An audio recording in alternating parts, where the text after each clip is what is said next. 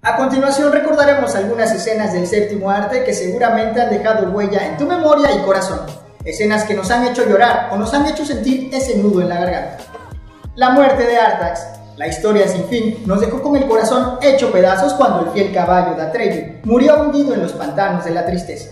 La despedida de E.T., el emotivo final rodado por Steven Spielberg a principios de los 80, fue elegido como el más poderoso y conmovedor de la historia del cine por el público inglés y es que la escena es un clásico del séptimo arte. Toy Story 3 nos trajo otro momento muy triste en lo que parecía ser la última despedida de estos personajes entrañables. Y es que Woody y sus amigos se unen de las manos para afrontar lo que parece una muerte segura a manos de una trituradora de basura. Muerte de Jack en Titanic.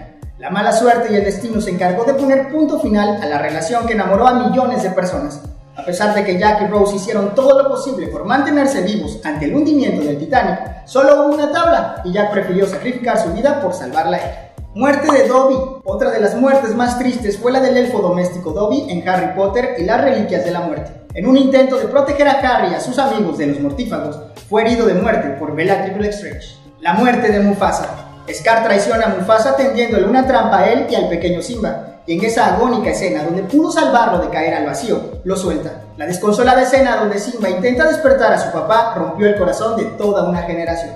¿Recuerdas alguna otra escena triste? Escríbela en los comentarios.